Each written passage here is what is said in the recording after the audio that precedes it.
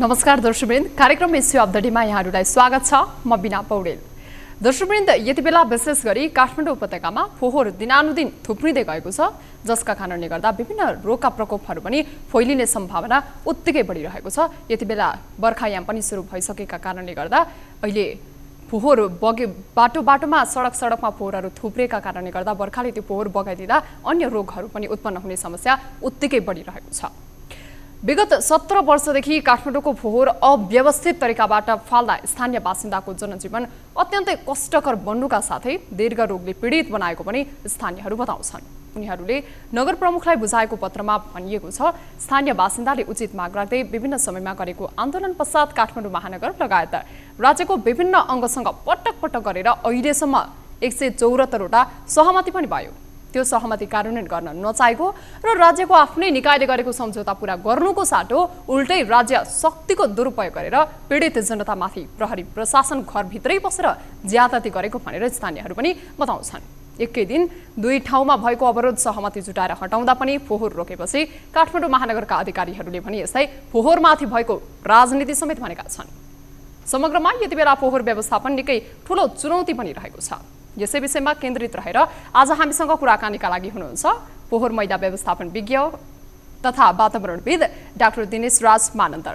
Sir यहाँलाई स्वागत छ कार्यक्रम हस् धन्यवाद। सर विशेष गरी अहिले फोहोरलाई चाहिँ राजनीतिसँग पनि जोडेर हेर्ने गरिएको छ किनकि अहिले पटक पटक सहमति गरेर फोहोर व्यवस्थापनका लागि बन्चरे डाँडा सिस्टो लगायत क्षेत्रमा लगेर फोहोर थुपार्ने फोहोर व्यव फोहोर व्यवस्थापन गर्ने भन्दा पनि स्थानीयहरूको अवरोध सँगसँगै राजनीतिक दलका कार्यकर्ताहरूले पनि अवरोध गरेको भनेर भनिएको छ। यसलाई यहाँले चाहिँ कसरी बुझ्नु भएको छ बताइदिनुहोस् न। हस् धन्यवाद। यहाँले जुन कुरा उठाउनु भयो जरुर पनि यो फोहोर मैला अहिले जुन अघि तपाईँले भूमिकामा भन्नुभयो कि यो फोहोर मैला व्यवस्थापनले गर्दाखेरि अहिले जुन विशेष गरी यो बर्खा मौसममा होइन असरल तपाईँको बाटोमा सबै छरिँदाखेरि बाटोमा हिँड्नेदेखि लिएर त्यसको दुर्गन्धले र त्यसको चाहिँ अलिकति महामारी नै होइन रोग व्याधि पनि फैलिने धेरै डर भएको छ। र एकदम अहिले जुन यो राजनीतिकरण नै बढी चाहिँ जस्तै फोर्मुला एउटा चाहिँ प्राविधिक विषय हो। होइन? यो प्राविधिक विषयलाई धेरै गाह्रो छैन। पहिला पनि यो स्रोतमा चाहिँ स्रोतमै छुट्याउने होइन? यो कुहिने नकुहिने छुट्याउने भनेर पनि गरिएको थियो। तर धेरै सहमति हुँदाखेरि पनि मुख्यत यो एउटा स्थान एउटा अब काठमाडौँवासी अब हामीले फोहोर उत्पादन गर्ने काठमाडौँमा भयो। बढी जनसङ्ख्या भएको भएको भ्यालीमा होइन? अनि हामीले व्यवस्थापन गर्ने चाहिँ हामीले रुद्रराजमा होइन?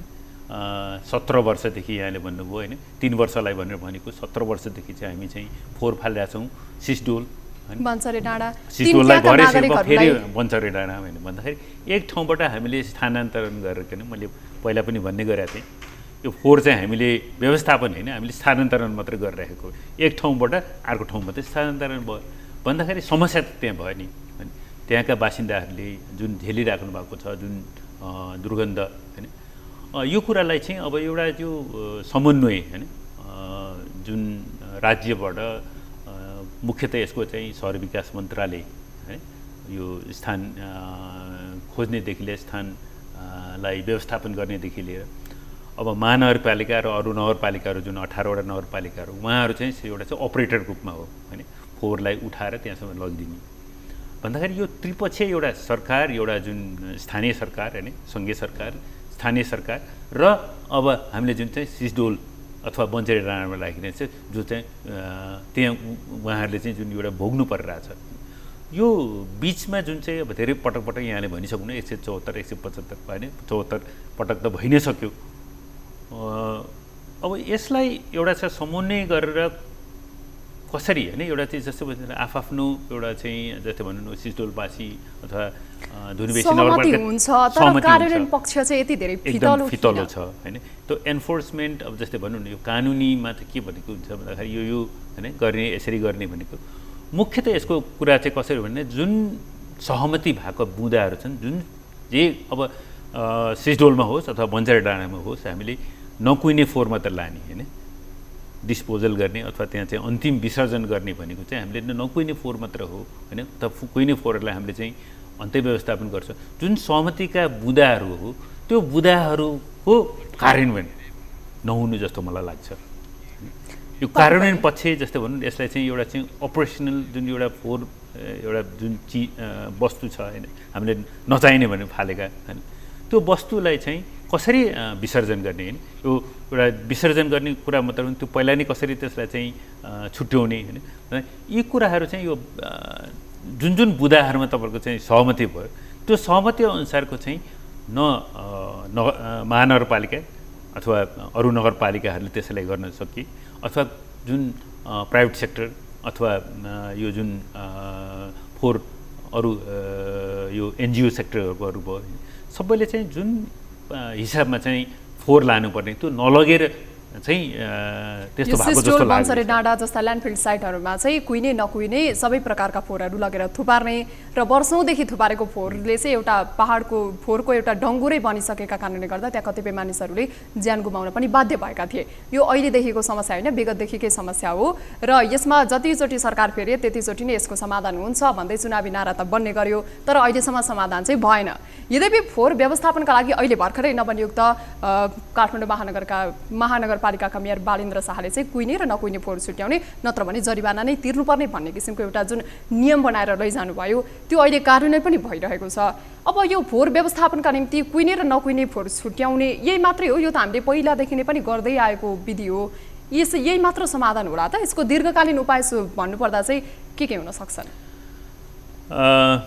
तपाईँले भन्नुभएकोमा चाहिँ म अहिले त्यसलाई यसरी लिउँ जस्तै दीर्घकालीन भन्दा पहिला हामीले अब अहिले तुरुन्तै होइन? इमिडिएट अहिले त यो एकदमै ठुलो समस्या बनिरहेको छ। अहिलेलाई नै पक्कै पनि। अहिलेलाई नै जाउँ न त अहिले तत्काललाई तत्काललाई हामीले गर्ने हो होइन? यहाँले भन्नुभएको जस्तो जस्तै अब यो हाम्रो फोहोरमा स्रोतमै छुट्याउने है? त भन्यो। अनि यसको जिम्मेवारी जस्तै भनौँ न अब आम नागरिक होइन? नागरिकहरूले चाहिँ जुन गर्न सक्छ ल तपाईँले छुट्याउनुहोस् भन्यो। तर त्यसको त्यसलाई चाहिँ कलेक्सन गर्दाखेरि होइन? जुन तपाईँले चाहिँ त्यसलाई जुन ट्रान्सपोर्ट कलेक्सन अथवा ट्रान्सपोर्टेसन गर्दाखेरि चाहिँ तपाईँले छुट्या छुट्याउनु हो पनि फेरि त्यसलाई चाहिँ एकै ठाउँमा राखेर लगियो होइन? त्यो छुट्याएको त्यसरी नै तपाईँले चाहिँ अब कति ठाउँमा त त्यो भए पनि अस्ति अब नयुक्त हाम्रो काठमाडौँ महानगरपालिकाको नयुक्त नवनियुक्त हाम्रो मेयर साहबले जुन भन्नुभयो होइन? बालन शाहले चाहिँ जुन भन्नुभयो त्यो अनुसारको गरियो पनि कति ठाउँमा होइन? तर त्यसलाई चाहिँ त्यसको पर्सेन्टेज त्यसो जुन चाहिँ फोर छुट छुट्याएर चाहिँ गरे गरेको थियो। त्यसको पर्सेन्टेज जुन जुन हिसाबमा चाहिँ कलेक्सन हुनुपर्ने त्यो कलेक्सन भएन। होइन? र छुट्या जनताले के भनियो भन्दाखेरि नागरिकहरूलाई चाहिँ त्यसलाई छुट्याउने मात्र भनियो। होइन? र नकुहिने पनि छुट्याउने भनियो होइन? तर त्यसको चाहिँ हरेक स्तरको चाहिँ कसले त्यसको जिम्मेवारी लिने हो? होइन? नगरपालिकाले सबैले त गर्न सक्दैन। होइन? नागरिक आफैले पनि कसरी गर्ने हो? होइन? त्यो कुराहरू चाहिँ अलिकति त्यसमा चाहिँ असमञ्जस भयो अलिकति कन्फ्युजन भएको जस्तो लाग्यो नि। म त उहाँहरूलाई चाहिँ जस्तो भन्नु गरिएन भने चाहिँ त्यसको जरिमाना मात्र भएन भने गर्नेहरूलाई पुरस्कार के हो पनि भन्नु पऱ्यो होइन? अथवा गर्नेहरूलाई आफैले घर घरमा पनि व्यवस्था गर्न सकिन्छ। जस्तो भन्नु अब काठमाडौँ एउटा त काठमाडौँ त तपाईँको काठमाडौँको बनोट अथवा संरचनालय पनि हो होइन? काठमाडौँ भनेको तपाईँको एउटा यो अब राजधानी होइन? यहाँ अलिकति आफ्नो घरमा ठाउँहरू भएकोहरूले त त्यसरी छुट्याउनु पनि होला होइन? त्यसको त्यस कारण चाहिँ यो इमिडिएट तपाईँले गर्दाखेरि चाहिँ जस्तै अस्ति पनि यो जुन औषधिहरू छर्किएर होइन त्यसै न गन्ध रहित गर्ने ती कुरा त तुरन्त भए त्यति त भए होइन तर सबै अरू किसिमका यो के अरे इन्स्टिट्युसनल भनौँ न होइन यो जुन संस्थागतहरूलाई पनि परिचालन गर्नुपर्छ यहाँ त थुप्रै छन् जस्तै यहाँ यसलाई एउटा व्यवसायको रूपमा गरेर जस्तै भनौँ अर्ग्यानिक फार्मिङको कुराहरू छ। होइन अर्ग्यानिक फार्मिङ गर्नेहरूलाई धनकुटाको तपाईँले राम्रो नमुना छ होइन? धरानले अहिले चाहिँ महानगरपालिकाले चाहिँ किन काठमाडौँ महानगरपालिकासँग त्यस्तो किसिमको क्षमता नभएर हो? या इच्छा शक्तिको चाहिँ कमी इच्छा शक्ति नै हो होइन? सबभन्दा तपाईँले राम्रो सबभन्दा कुरा चाहिँ यो इच्छा शक्ति होइन? अनि त्यसपछि जुन जुन व्यवसायीकरण अथवा गर्नेलाई चाहिँ त्यो अनुसारको चाहिँ संस्थागत संस्थागत व्यवस्था। त्यो तपाईँले चाहिँ सुरुदेखि नै गर्नु पऱ्यो किन फोहोर छुट्याउनु भयो फोहोर छुट्याएर कुहिनेलाई चाहिँ कता लाने होइन नकुहिनेलाई कता लाने सबै नै तपाईँले सिजडोल होइन केही देखाएको छैन भन्दाखेरि अन्तिम विसर्जन विसर्जन मात्रै देखाएको छ। मैले अघि नै भने काठमाडौँको कुरा गर्नु पर्दाखेरि चाहिँ सिस्टोल पञ्चरे डाँडा तिनीहरू मात्रै भयो क्या फोहोर लगेर अन्तिम विसर्जन गर्ने ठाउँ भनेको त्यही मात्र भयो। फोहोरलाई त अन्य देशमा त अब फोहोरबाट मोहोर भनेर पनि त्यसरी युज गरिरहेको पाइन्छ तर हाम्रो देशमा चाहिँ त्यस्तो किसिमको प्र्याक्टिस अहिलेसम्म भएको छैन पनि। सायद भविष्यमा होला यदि इच्छा शक्ति सबैमा त्यस्तो किसिमको आएदेखि त्यो हुन सक्ला। तर अब यहाँले चाहिँ अब एउटा प्राविधिक क्षेत्रमा काम गरिरहेको हिसाबले हेर्दाखेरि चाहिँ अब यो फोहोरका असरहरू त छँदैछन् नै एकातिर छँदैछन् नै। अब हामीले कुहिने र नकुहिने फोहोर छुट्याएर चाहिँ यसबाट नकुहिने फोहोरबाट अन्य सामानहरू उत्पादन गर्न पनि सकिन्छ अन्य देशको तुलना। अन्य देशमा चाहिँ कस्तो किसिमको प्र्याक्टिस हुन्छ र हाम्रो देशमा चाहिँ के गर्न जरुरी छ अहिलेलाई चाहिँ? हामीलाई अघि नै हामीले यो धर धनकुटा धरानको कुराहरू गरिरहेको छौँ त्यहाँ हुन्छ भने हामी काठमाडौँ अहिले अहिले चल्दो बोल्दो चाहिँ धेरै यो काठमाडौँ र यो हाम्रो भ्यालीमा यो अठारवटा नगरपालिकाहरूको समस्या हो होइन अन्य देशमा जस्तो भने तपाईँलाई अघि भन्नुभयो जस्तो यो फोहोरलाई मोहोरमा गर्ने भन्नेको यो रिसाइकल होइन सबभन्दा पहिला चाहिँ यो फोहोरमै स्रोतमै तपाईँ सबभन्दा पहिला चाहिँ उत्पादन हुनमै कम गर्ने सबभन्दा गर्नु पऱ्यो त्यसको लागि चाहिँ अब जनचेतना होइन? जनचेतना नभएको त होइन जनचेतना अझै छिटै तर त्यसको उत्पादनै हामीले सबभन्दा कम गर्ने होइन? त्यसपछि छुट्याएर चाहिँ त्यसपछि छुट्याएपछि तपाईँको कागज प्लास्टिक अहिले त धेरै यो प्लास्टिकको धेरै नै समस्याहरू छ अहिले सरकार नेपाल सरकारले पनि त्यसलाई प्रतिबन्धित गरेर चालिस माइक्रोनभन्दा कम मोटाइकोलाई चाहिँ बन्देज गरेको छ होइन भनिरहेको छ भन्दाखेरि यस्तो किसिमको चाहिँ यो प्लास्टिकदेखि कागज होइन तपाईँको बोतल होइन धेरै कुराहरू चाहिँ तपाईँले चाहिँ सुतमै छुट्याएर त्यसलाई चाहिँ विभिन्न उद्योगहरूमा होइन तपाईँले पठाउने कामहरू गर्न सकिन्छ जस्तै प्लास्टिकलाई तपाईँको तपाईँको पाइप उद्योगहरूमा अनि कागजलाई तपाईँको चाहिँ अरू कुनै इन्धनहरूमा भयो। अब यो वेस्ट टु इनर्जीको कुराहरू तपाईँले पनि उठाइसक्नु भएको छ होइन? जस्तै यस्तै यसबाट बायोग्यासहरू बनिरहेछ। हाम्रै नेपालमा पनि जस्तै पनि उनी गण्डीको ऊर्जा भनेर चाहिँ पोखरामा छ होइन अहिले कावासुती नवर नवलपरासीमा तपाईँले चाहिँ छ यो सिएनजी एलपिजी ग्यासहरू बन्ने होइन ठुला उद्योगहरू आइरहेको छन् भन्दाखेरि हो त्यो उद्योगहरूलाई चाहिँ हामीले प्रमोसन गर्नु पऱ्यो हामीले चाहिँ जस्तै एउटा चाहिँ यो यो के भन्नुहुन्छ भने अब यसले एउटा टर्मिनोलोजी तपाईँले सर्कुलर इकोनोमी भन्ने छ होइन। हामी चाहिँ यो यो लिनर इकोनोमीतिर गइरहेछौँ यो सुरु गऱ्यो अनि त्यसलाई चाहिँ फाल्ने भन्ने मात्र होइन। उनीहरूको हरेक वस्तुको तपाईँको चाहिँ एउटा चाहिँ लाइफ साइकल एनालिसिस हुन्छ। त्यसलाई तपाईँले चाहिँ एउटा उद्योगबाट निस्केको अथवा एकजना व्यक्तिलाई काम नलाग्ने वस्तु अर्कोलाई काम लाग्न सक्छ। अथवा एउटा उद्योगबाट चाहिँ तपाईँले निस्केको कुराहरू चाहिँ अर्को उद्योगलाई उसलाई काम नलाग्ने वस्तु उसलाई चाहिँ काम लाग्न सक्छ भन्दाखेरि त्यसरी यो सर्कुलर इकोनोमीको हिसाबमा चाहिँ जस्तो भन्यो तपाईँले जे जे हुन्छ त्यस त्यो गर्दाखेरि चाहिँ अन्तिममा निस्किने फोहोर भनेको साह्रै कम हुने हो होइन? अहिले यो जिरो वेस्ट अवधारणामा पनि अहिले मैले यहाँले जुन बाहिर देशहरूमा पनि धेरै भइसकेको छ र हाम्रै नेपालमा पनि यो जिरो वेस्टको प्रिन्सिपल चाहिँ धेरै अगाडिदेखि नै सुरु भएको हो होइन? यो हिमालको फोहोर हिमालमा जाने फोहोरहरूलाई चाहिँ व्यवस्थापन गर्नेदेखि लिएर होइन भन्दाखेरि अन्तिममा यो अब अहिले यहाँ के भइरहेछ भन्दाखेरि चाहिँ ल्यान्डफिल अब ल्यान्डफिल पनि नहुनु त्यो त डम्पिङ साइट भन्छु म होइन। ल्यान्डफिल भनेको चाहिँ कस्तो भने अन्तिममा तपाईँको दसदेखि प पन्ध्र प्रतिशत मात्र लाने हो होइन। कुहिने तपाईँको चाहिँ साठी पैँसठी प्रतिशत त्यसपछि का प्लास्टिक पन्ध्र सोह्र प्रतिशत होइन। र कागज भयो बोतलहरू भयो सिसाहरू भयो त्यो सबैलाई चाहिँ तपाईँले चाहिँ त्यसलाई अन्त प्रयोग गर्न सकिन्छ होइन? यहाँ धेरै अरू संस्था संस्थाहरू छ। होइन जस्तै यो यो आफ्नी एडभेन्चर भन्ने छ उहाँहरूले यो प्लास्टिकको धेरै व्यवस्थापन काम गर्ने संस्थाहरू पनि छन्। तर अब अहिले काठमाडौँ महानगरपालिका या भनौँ यहाँ उपत्यकाभरि नै अहिले चाहिँ फोहोरले चाहिँ एकदमै ठुलो रूप लिइसकेको अवस्था छ। यो काठमाडौँ महानगरपालिका एकदमै दुर्गन्धित भइरहेको अवस्था छ। तर यस्तो बेलामा पनि वातावरणविदहरू लगायत अन्य सङ्घ संस्था जुन चाहिँ वातावरणसँग रिलेट भएर काम गर्नुहुन्छ उहाँहरूले चाहिँ त्यति चासो देखाएको पनि देखिँदैन नि। अहिले त खबरदारी गर्नुपर्ने हो नि यहाँहरूले। सँगसँगै ती संस्थाहरूले पनि अहिले चाहिँ जनचेतना फैलाउने काम पनि गर्न सकिन्छ होला नि। के भइरहेको छ यहाँहरूको तर्फबाट। यो खबरदारी गर्ने कुरामा जसरी यहाँले पनि धेरै यहाँ यहाँ यो फोहोर मैलाको व्यवस्थापन गर्ने एउटा छुट्टै तपाईँको के अरे संस्था पनि छ होइन संस्थाहरूको उहाँहरूको एउटा चाहिँ सङ्गठन छ होइन त्यस्तै मैले यो डोको रिसाइक्लरको कुराहरू भयो होइन अनि यो खाली खालिसिसी डट कमहरू भयो होइन अनि अघि मैले आउने एडभेन्चर भयो होइन यस्तै किसिमको अरू जस्तै भनौँ न अरू संस्थाहरू होइन एनजिओ सेक्टरमा पनि छ होइन थुप्रै संस्थाहरूले उहाँहरूले आफआफ्नो स्तरबाट आफ्नो कामहरू गरिरहनु भएको छ। नगरेको होइन। र तपाईँले भन्नुभएको छ जस्तो त्यो अब कुनै न्युजमा आयो भने मिडियामा त्यो अर्को कुरा हो। तर उहाँहरूले आफ्नो आफ्नो गरेर गरिरहनु भएको छ। तर त्यो स्केल होइन त्यो जुन स्केल चाहिँ अब अहिले अहिले बाह्र सय टनको छ भने चाहिँ होइन त्यो स्केल चाहिँ सानो भयो। दस टन गरेको होला पन्ध्र टन गरेको होला बिस टन गरेको होला होइन। तर त्यसले त पुगेन। पुगेन। हो त्यो पुगेन। त्यो स्तरलाई चाहिँ जस्तै अहिले विश्व मैले यहाँले भन्नुभयो अब थाइल्यान्ड भयो इन्डियामै भयो होइन? धेरै ठाउँमा चाहिँ तपाईँको एउटा तरकारी बजारबाट होइन? तरकारी बजारबाट लग्यो त्यो सबै फोहोरलाई चाहिँ तपाईँले बायोग्यासमा परिवर्तन गर्ने बायोफिलमा परिवर्तन गर्ने अथवा त्यो हामीले जाडोमा बाल्ने यो बायोचार भन्छ होइन? यो ब्रिकेट भन्छ होइन? त्यस्तो यो कागजलाई त्यस्तो बनाउन सकिन्छ भन्दाखेरि यो सबैको चाहिँ एउटा चाहिँ यस्तो किसिमको इन्डस्ट्री होइन। र अहिले खबरदारी गर्ने कुराहरूमा जस्तै भनौँ न यस्तो किसिमको धेरै अध्ययन अनुसन्धान जस्तै नास्टबाट भएको छ होइन। धेरै यसको चाहिँ कसरी गर्ने भन्ने अनुसन्धान भएको छ विभिन्न विश्वविद्यालयहरूबाट भएको छ होइन।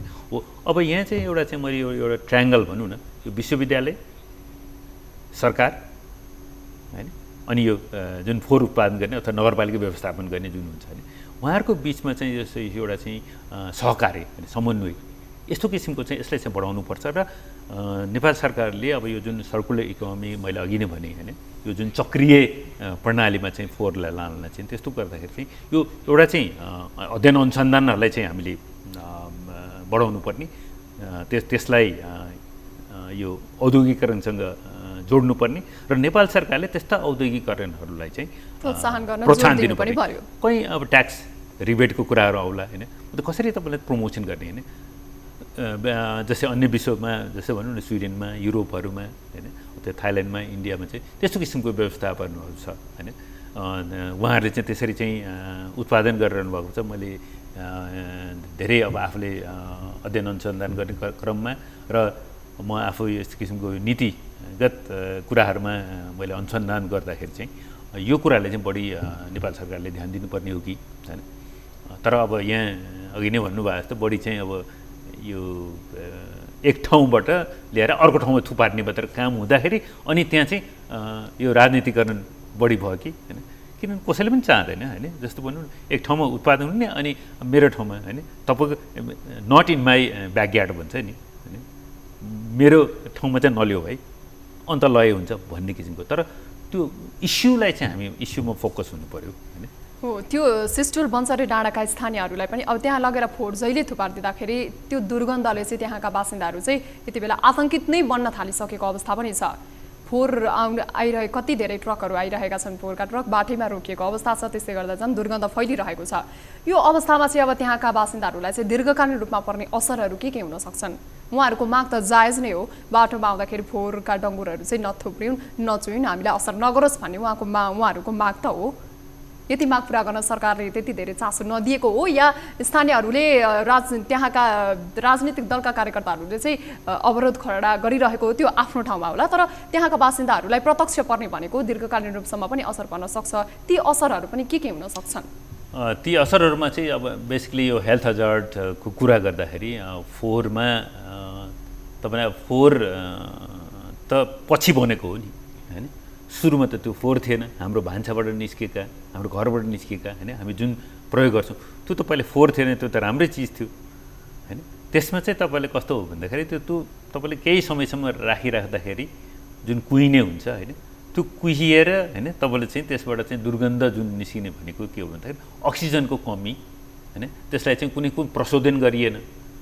यदि हामीले चाहिँ अब कम्पोस्ट मल बनाउन सकिन्थ्यो अरू चिजहरू बनाउन सकिन्थ्यो भन्दाखेरि त्यो नबने त्यो अक्सिजन नभएपछि त्यो जुन बिग्रिएर होइन त्यसबाट चाहिँ तपाईँको चाहिँ जुन दुर्ग दुर्गन्ध आउने भनेको यो मिथेन भन्छ। मिथेन अथवा कार्बन डाइअक्साइड होइन? मुख मु- मुख्य रूपमा त्यो निस्किने हो। र त्यो भनेको घातक हो। जस्तै हामीले अहिले यो हामी जलवायु परिवर्तनको कुरा क्लाइमेट चेन्जको कुराहरू गर्छौँ भने कार्बन डाइअक्साइड मिथेन भन्छ नि? हो त्यो चाहिँ एउटा घातक होइन? त्यसले गर्दाखेरि चाहिँ जुन हाम्रो एउटा शरीरमा होइन? त्यसले केही असर गर्ने।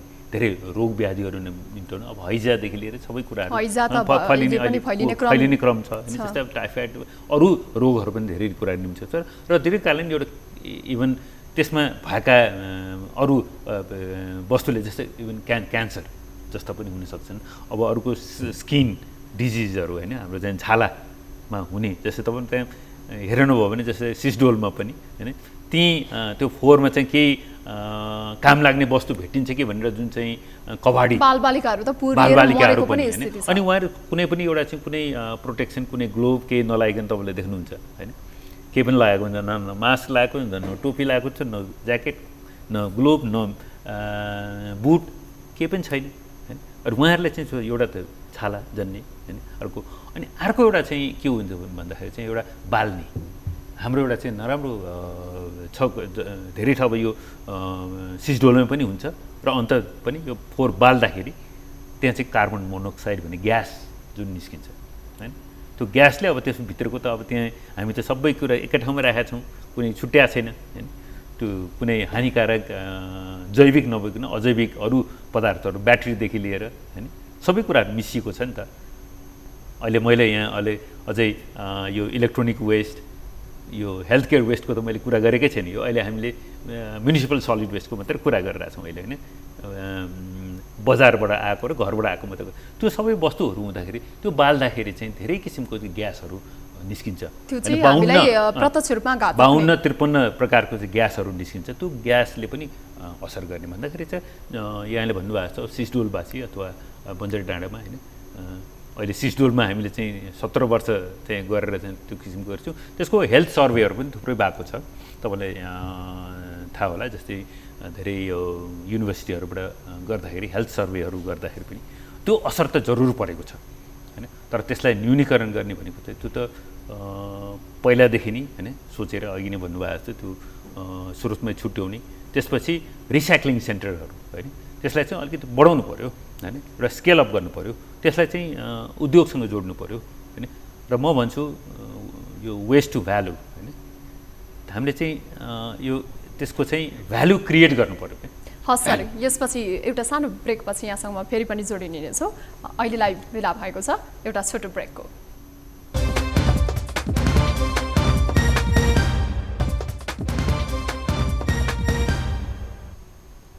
ब्रेकपछि पुनः स्वागत छ कार्यक्रम विश्व अफ द डेमा दर्शकवृन्द आजको कार्यक्रम विश्व अफ द डेमा विशेष गरी अहिले हामीले यो बढ्दो उपत्यकामा एकदमै बढ्दो फोहोरका कारणले गर्दा चाहिँ उत्पन्न रोगहरूको विषयमा पनि कुराकानी गरिरहेका छौँ र यो फोहोर व्यवस्थापनलाई चाहिँ कसरी व्यवस्थापन गर्न सकिन्छ यसको मुख्य समस्या चाहिँ कहाँ रहेको छ यसको पछिको असरहरू के के हुन् लगायतका विषयमा आधारित रहेर कुराकानी गरिरहेका छौँ। सर हामीले विशेष गरी अहिले फोहोरले चाहिँ त्यो दीर्घकालीन असरहरू चाहिँ के के गर्न सक्छ? यो विषयमा कुराकानी गर्दै थियौँ त्यहीबाट जोड्न चाहन्छु यहाँलाई फेरि। दीर्घकालीन असर यहाँले मैले भनिरहेको थिएँ यो जुन रोग व्याधिको कुरा त मैले अघि भने होइन जस्तै यो इमिडिएट तपाईँले छालादेखि लिएर हुने अनि अर्को चाहिँ यो फोहोर बालेर हुनेदेखि भयो अनि जुन यो अहिले बर्खाको समयमा फोहोर होइन बाट चाहिँ जुन पानीले चाहिँ जुन अ, असरलाई गर्ने अथवा पानीले चाहिँ त्यो बगाएर त्यसले गरेर जस्तै नदी नाला होइन। हाम्रो बागमती विष्णुमती होइन।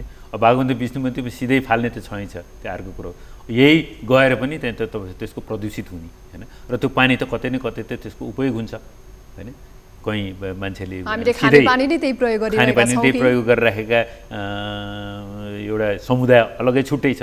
जुन हाम्रो चाहिँ नदीको छेउमा बस्ने जुन हाम्रो चाहिँ यो एउटा बस्ती नै छ होइन? त्यो बस्तीहरूले पनि त्यही पानी प्रयोग गरिरहेको छ भन्दाखेरि र दीर्घकालीन रूपमा चाहिँ त्यो पानी होइन अब जमिनभित्र गएर होइन अब अहिले त काठमाडौँ उपत्यकामा त थुप्रै यो जमिनको पानी पनि प्रयोग गर्ने छ भन्दाखेरि कतै न कतै चाहिँ होल यो वाटर रिसोर्सेस होइन हाम्रो चाहिँ जल शक्ति जल भण्डारण त्यहाँ पनि असर गर्ने समेत त्यो दीर्घकालीन रूपमा यसले गर्छ।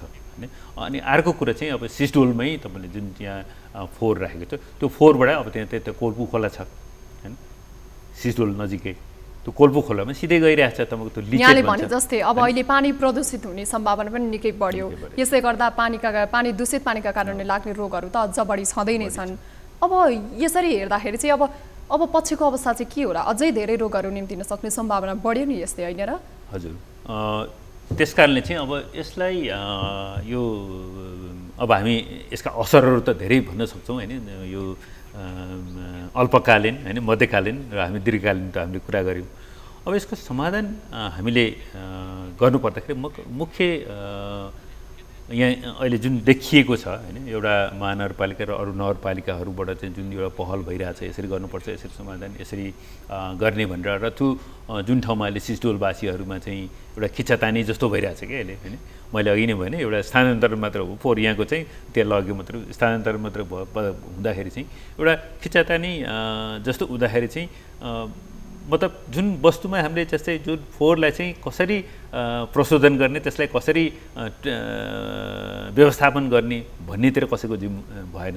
र अलिकति संस्थागत होइन म इन्स्टिट्युसनलाइजेसनको पनि कुरा गरेँ। यो विभिन्न अब जस्तै अब स्वास्थ्यको सम्बन्धी निकाय होइन त्यस्तै किसिमको यो व्यवसायीकरण गर्ने होइन यसलाई चाहिँ यो पुनः चक्रियमा लाने थुप्रै उद्योगहरू होइन? लोकल एउटा चाहिँ सानसानो स्थानीय उद्योगहरू छन् होइन? उहाँहरूलाई पनि चाहिँ कन्फिडेन्समा लिने होइन? र जनसाधारणलाई पनि चाहिँ यो किसिमको हुन्छ फेरि जनसाधारणमा पनि सबैले यो गर्न सक्छ सबैले छुट्याउन सक्छ भन्ने पनि छैन होइन? गाह्रो छ के जस्तै भन्नु न काठमाडौँ जस्तो उपाय ठाउँहरूमा होइन? तपाईँले चाहिँ एउटा जुन यो रेन्टेड पपुलेसन भन्छ होइन? एउटा कोठा लिएर बसेको हुन्छ। भन्दाखेरि उसले चाहिँ कहाँ राख्ने त? ल पन्ध्र दिनसम्म उठ्यो भने त उसले सक्दैन भन्दाखेरि उसलाई एउटा व्यवस्था गर्नु पऱ्यो सबैलाई एउटै किसिमको सोचेर भएन त्यस चाहिँ त्यस्ता व्यक्तिहरूलाई चाहिँ एउटा कसरी कसरी चाहिँ त्यही त उहाँहरूलाई जस्तो अब घरबेटी होइन? ले चाहिँ एउटा कुनै किसिम अथवा एउटा समुदायमा म म चाहिँ यहाँ यसको उपायको लागि जस्तै अब यहाँ थुप्रै सङ्घ संस्थाहरू छन्। तपाईँको महिला समूहहरू धेरै वडाहरूमा जस्तै ललितपुरमा भक्तपुरमा अहिले भक्तपुरमा पनि राम्रो व्यवस्थापन गरिराखेको छ यो कम्पोस्टिङ कि तपाईँले चाहिँ मल बनाउने कारखानाहरू थुप्रै छ। यो एउटा यो रिकि रिकिसी कम्पोस्ट भन्ने छ होइन भक्तपुरमा। तर यो सानसानो त्यस्तो भएकोले महिला समूहहरू होइन अब यो विभिन्न युवा समूहहरू छन् उहाँहरूलाई परिचालन गर्नु पऱ्यो कि? उहाँहरूले गरेर गर्न सक्नु भएको छ। होइन? त्यो सानसानो उद्योगबाट जस्तै कागजहरू गरेर चाहिँ महिलाहरूले प्लास्टिकहरू गरेर चाहिँ सुकुल बुन्नेदेखि लिएर त्यो सबै कुराहरू गरिरहेछ होइन? भन्दाखेरि अहिले पहिला पहिला चाहिँ खोक के अरे हाम्रो खोकनातिर अथवा चाहिँ कता हाम्रो सिद्धिपुरतिर त्यो सुकुलो बनाउनु भएछ। अहिले त प्लास्टिकबाट बन्नु छ भने हो त्यस्तालाई चाहिँ अलिक प्रमोसन गरेर होइन भन्दाखेरि स्केलअप गर्ने र त्यस्तो संस्थाहरू चलाए चलायमान गर्नु पऱ्यो होइन। मतलब अब मेयर बालेन्सा मात्र कमा कराएर पुगेन पुगेन। होइन। अरू संस्थालाई एउटा स्वास्थ्यको संस्थाहरू अनि अध्ययन अनुसन्धान गर्नेहरूले नाचदेखि लिएर धेरै युनिभर्सिटीहरू भयो उद्योगकरणलाई भयो। अनि यो उद्योगमा पनि जस्तै मैले अघि नै यो सर्कुलर इकोनोमीको कुरा गरेँ होइन? र कतिपय वस्तुहरू अब अहिले त हामी अब अहिले यो मोडर्न समयमा चाहिँ हाम्रो के भयो भन्दाखेरि चाहिँ हामी धेरै के अरे यो बाहिरका सामानहरू हामी प्रयोग गर्छौँ होइन? भन्दाखेरि ती सामानहरू जस्तै चाउचाउको खोलदेखि लिएर होइन? दुधको खोलहरू भयो होइन? त्यो कुराहरू त त्यो पुनः प्रयोग गर्न सकिन्छ नि त। भन्दाखेरि उद्योगकाहरूलाई पनि चाहिँ त्यसको चाहिँ यो एक्सटेन्डेड प्रड्युसर रेस्पोन्सिबिलिटी इपिआर भन्छ होइन? उहाँहरूले त्यो जिम्मा दिनु पऱ्यो ल तपाईँहरूले बनाउनु भएको वस्तुलाई तपाईँहरूलाई फिर्ता फिर्ता लिन सक्नु पऱ्यो होइन?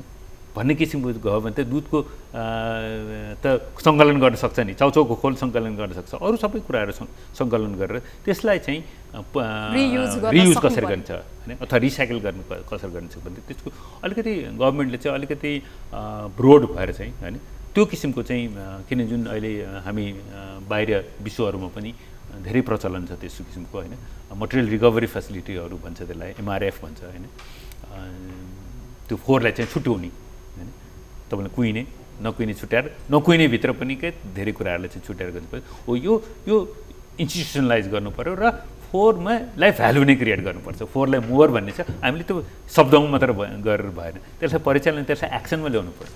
होइन? त्यो किसिमको चाहिँ गभर्मेन्टले जस्तै अहिले अब नगरपालिकाले चाहिँ त्यस्तो किसिमको एउटा चाहिँ समूह होइन? एउटा थिङ्क ट्याङ्कको समूहलाई त्यो जिम्मा दिएर अथवा भनौँ न तर सहकार्य सबैतिर हुनु पऱ्यो होइन। गभर्मेन्ट अब सङ्घीयले चाहिँ अब नागरिक स्तरबाट चाहिँ अब ठाउँको व्यवस्था त हुँदैन होइन? कहीँ कम्पोस्टिङ गर्नु पऱ्यो मल बनाउनु पऱ्यो सरकारले त्यस्तो किसिमको हुनु पऱ्यो। उद्योगहरूलाई चाहिँ ट्याक्सको कम गर्नु पऱ्यो होइन? अथवा त्यस्तो गर्नेहरूलाई चाहिँ नागरिकहरूलाई चाहिँ वडा वडाबाट चाहिँ त्यसलाई चाहिँ प्रोत्साहन दिनु पऱ्यो होइन? र म यो गर्नलाई चाहिँ कस कस्तो भने सुरुवात गर्नलाई हामीले नमुनाको रूपमा जस्तै अब धनकुटा धरानबाट जुन चाहिँ प्रयोग भएको छ भने हामी कहाँ पनि किन- एउटा वडा कुनै एउटा समूहहरूलाई चाहिँ त्यसबाट गरेर त्यसबाट चाहिँ नमुना ए यसो गर्दाखेरि हुन्छ हुँदो रहेछ नि। अब म अलिकति जोडौँ यसको चाहिँ जुन पहल हामीले चाहिँ म रोटरी होइन? मा पनि भएको हुँदाखेरि चाहिँ यो रोटरीको पनि म अहिले यो इन्भाइरोमेन्ट कमिटीको एज अ चेयर भएर काम गरिरहेको छु Rotary district three two nine two Nepal भुटानमा। हामीले पनि त्यस्ता किसिमको पहलहरू हामीले समुदायसँग ललितपुरमा काठमाडौँमा चाहिँ अहिले हामीले पहल सोचाइराखेका छौँ। त्यो त्यो- त्यो किसिमको गर्ने होइन? र अलिकति उद्योगीकरण होइन? अथवा त्यसबाट फोहोरबाट चाहिँ मल निकाल्ने फोहोरबाट बायोग्यास गर्ने अथवा बिजुली उत्पादन गर्ने होइन? अब थुप्रै टेक्नोलोजी चाहिँ थुप्रै छ। तर त्यो सबै टेक्नोलोजी अब युरोपमा भएको सबै टेक्नोलोजी यहाँ प्रयोग हुन्छ भन्ने छैन फेरि। जस्तै मैले एउटा उदाहरण लिउँ कि अब हाम्रो अ, वेस्टको अ, मा अब धेरै चाहिँ बाहिर चाहिँ अहिलेसम्म भएको टेक्नोलोजीहरू चाहिँ के के छ के के युज भइरहेको छ? हाम्रो चाहिँ अब मल बनाउने मैले अघि नै भने होइन? मल बनाइरहेको छ तर सानो स्केलमा छ त्यसलाई चाहिँ स्केल अप गर्नुपर्ने छ होइन? अब त्यसपछि त्यो बायोग्यासमा छ होइन? अरू जस्तै यो बायोचार भन्छ होइन? अथवा तपाईँको त्यो ब्रिकेटहरू बनाउने भयो त्यसो अलिकति छ। त्यसको मैले अघि नै भने त्यसको चाहिँ स्केल पुगेन। बाह्र सय टनमा दस टन भएर त पुगेन नि होइन? भन्दाखेरि उद्योगहरू त्यसमा लागि अगाडि आउनु पऱ्यो होइन त्यस कारण चाहिँ त्यो किसिमको कुराहरू हामीले गर्न सकियो र हामीले नमुनाको रूपमा कहीँबाट सुरुवात गरेर होइन त्यस्तो किसिमको चाहिँ नभएको भने। नमुनाको सुरुवात गर्न चाहिँ अब धेरै ढिला भइसक्यो ढिलो पनि भइसक्यो तर नभ नभएको होइन। तर गरिरहेको भएको संस्थाहरूलाई चाहिँ हामीले चाहिँ संस्थाहरूलाई एकै ठाउँमा ल्याएर राख्नु पऱ्यो र उहाँले कसरी यति बेला त काठमाडौँ महानगरपालिकाले मात्र फोहोर व्यवस्थापन गर्न सकेन भन्ने किसिमको हुन्छ। यसमा त केन्द्रीय सरकारको पनि भूमिका उत्तिकै हुन्छ। सँगसँगै स्थानीय सरकारको भूमिका पनि उत्तिकै हुन्छ। नभए तिन तहका सरकार किन बनाउने? सबै सरकारको त भूमिका त उत्तिकै भयो नि। यसमा पनि अलिकति केन्द्रीय सरकारको भूमिका चाहिँ कमजोर भएको हो। स्वास्थ्य मन्त्रालय मन्त्रालयहरू छन्। स्वास्थ्य मन्त्रालयहरूले पनि स्वास्थ्यसँग रिलेटेड कुरा हो। यो फोहोरले चाहिँ पछिसम्म पनि असर गर्छ भन्ने कुरा त सबैजनालाई अवगत छँदैछ नै। यो विषयमा अलिकति सरकारी पक्षबाट नै तदारुकता नदेखिएको भन्न मिल्ने भयो। त्यसो भन्दा मैले अलि अघि सुरुमा हामीले चाहिँ इच्छा शक्तिको कुरा गऱ्यौँ होइन? अब सरकार पक्षबाट चाहिँ सरकारले अरू कार्यक्रमहरूमा जसरी चाहिँ एउटा चाहिँ सबै क्लबको यहाँ पास्ट प्रेसिडेन्ट पनि हुनुहुँदो रहेछ र यहाँले वातावरणसँग रिलेट भएर काम गरिरहँदा चाहिँ यहाँहरूलाई पनि सरकारी पक्षबाट चाहिँ अलिकति प्रोत्साहित गर्ने किसिमका कामहरू पनि भइदिएदेखि अझै बढी जसरी अब मलहरू उत्पादन भइरहेको छ अहिले स्केल चाहिँ बढाउन जरुरी छ यसको भनेर भनिरहनु भएको थियो। त्यो स्केल बढाउनलाई चाहिँ यो प्रोत्साहन गर्दैदेखि चाहिँ अझ बढी प्रोत्साहित बनेर यो स्केल बढ्ने थियो कि? के लाग्छ यहाँलाई? जरुर। त्यही भएर यसको जुन यो संस्थागत मैले संस्थागत व्यवस्थाको कुरा गरेँ एउटा एउटा नीति जस्तै यहाँ सङ्घीयको कुरा गर्नुभयो। नीति होइन र नियम ऐन गर्ने त्यस्तो के अरे यो चाहिँ सङ्घीयको कुरा हो। अहिले त प्रादेशिक पनि छ। अर्को स्थानीय होइन र सबै अधिकार र सबै इम्पावर्ड चाहिँ हाम्रो स्थानीय सरकार हो। त्यो सबै सरकारहरूमा चाहिँ यो सबै नै निकायहरू तपाईँको खानेपानीदेखि लिएर स्वास्थ्यदेखि लिएर फोहोर मैलाको सबै त त्यसमा छ नि। भन्दाखेरि चाहिँ यो नीति जुनमा छ नीतिलाई अवलम्बन गर्ने नीतिको कार्यान्वयनको हाम्रो कुरा छ।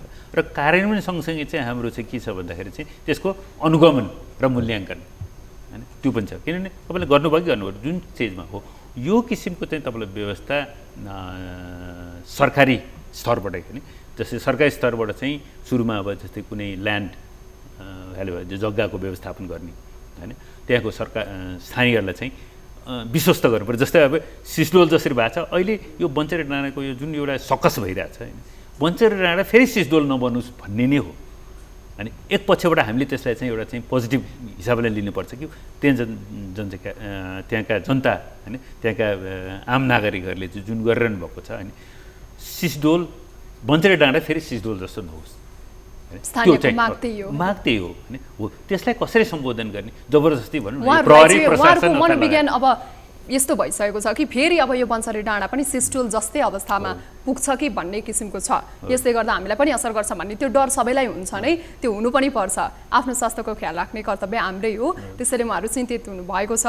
अब उहाँहरूलाई चाहिँ सरकारले के गर्दाखेरि चाहिँ अलिकति उहाँहरूको मनोविज्ञान चेन्ज गर्न सकेर त यसमा चाहिँ के कस्तो भूमिका निर्वाह गर्न सकिएन? त्यो त त्यो त अब का यो कार्यक्रमबाटै जान्छ होइन? त्यो त एक्सनबाटै होइन? जसरी हामीले अहिले जसरी लगिरहेछौँ फोहोर होइन?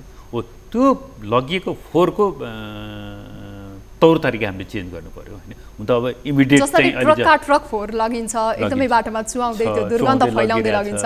त्यसलाई चाहिँ अर्को उपाय चाहिँ के हुनसक्छ अर्को उपाय भनेको त्यही त होइन? सुरुको अब तपाईँले भन्नु न कहीँ हामीले एउटा चाहिँ अहिले हामीले सुरुमा भन्यौँ त्यसो दुर्गन्धलाई हटाउने धेरै यो केमिकलहरू युज गर्ने त्यो भयो होइन? त्यस्तो तर त्यो त इमिडिएट त होइन होइन? भन्दाखेरि त्यसरी लगेर अहिले बन्चरी डाँडामा यति धेरै ठाउँ छ होइन?